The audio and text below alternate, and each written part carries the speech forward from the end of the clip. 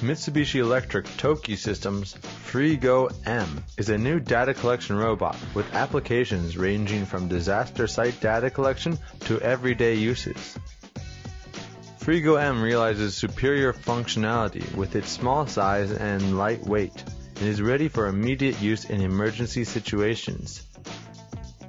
The robot can be customized to meet different needs by equipping it with various types of sensors.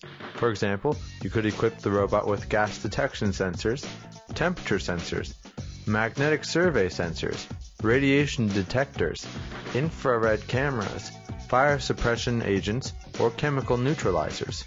消防隊員さん等の二次災害を防ぐということで、えー開発しております優れた機動性それからあ防塵性防水性と いうものを行えておりまして遠隔操作で上に6マスセンサーを入れ替えることによって、えいろんな災害現場例えば、えテロですとか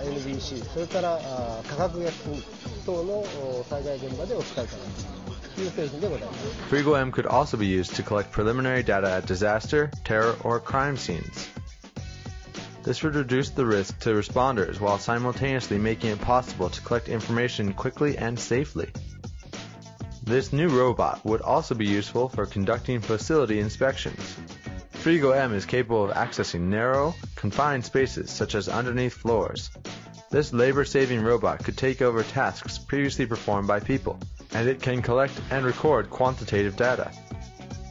FRIGO-M could also perform security management functions by connecting it with a monitoring center to act as a patrol robot that could detect suspicious individuals or abnormal conditions. DigInfo News